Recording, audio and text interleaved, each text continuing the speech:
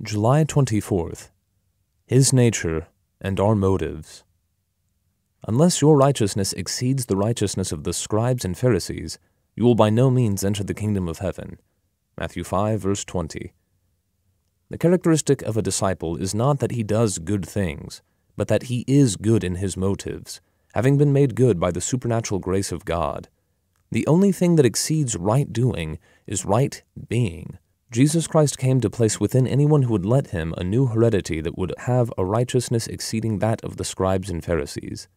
Jesus is saying, If you are my disciple, you must be right not only in your actions, but also in your motives, your aspirations, and in the deep recesses of the thoughts of your mind.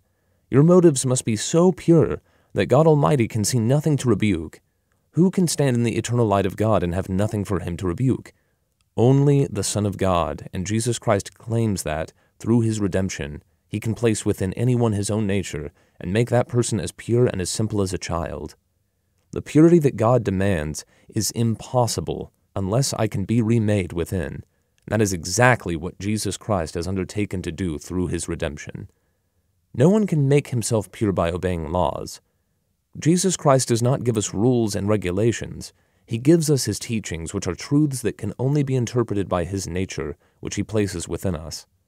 The great wonder of Jesus Christ's salvation is that he changes our heredity.